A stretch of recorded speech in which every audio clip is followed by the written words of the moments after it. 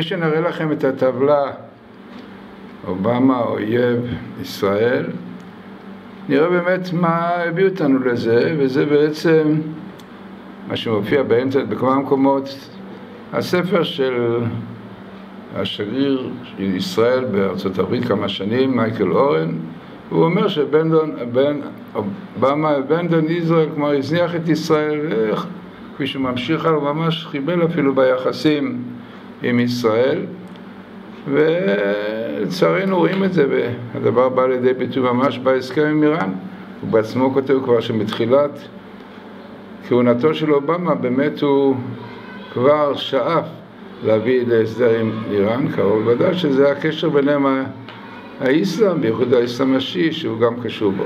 אם כן מה הטבלה אומרת לנו? אם כן זו הטבלה. טבלה מעניינת שמופיע בה פעם אחת בתורה אפשר לראות פה, אובמה, משפט אחד, אובמה אויב, וכמובן ישראל, ואת ישראל.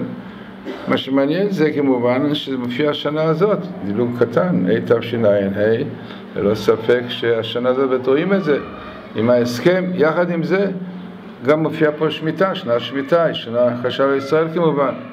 יחד עם זה יש לנו פה גם משהו מעניין שזה ידוע שהצהרות לפני ביאת המשיח, מלחמות ושמיטה וכפי שכתוב בספרים, משיח בן יוסף הוא שיביא לניצחונות להתגברות ישראל האויבים משיח בן יוסף שזה אפרים ויחד עם זה, ללא ספק, כפי שאומר הרמב"ם שזה מה שצריך להביא את ישראל לתשובה כי אין ישראל מגלים להביא תשובה, מופיע פה המילה תשובה ויראה, כלומר יראת השם, תשובה הולכים ביחד יחד עם זה, מה שמעניין ביותר זה ההופעה של משיח בחג המצות וגוג בחג הסוכות.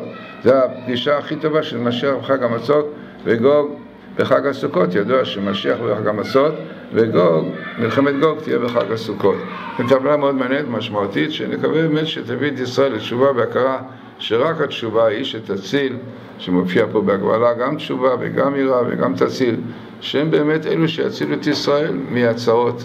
כפי שכתוב בספרים הקדושים. אם כן טבלה מעניינת, יחד עם זה באמת אנחנו רואים עכשיו, מצאנו פה את השר של עמלק בשמיים, שזה הסם כמובן, סם האל.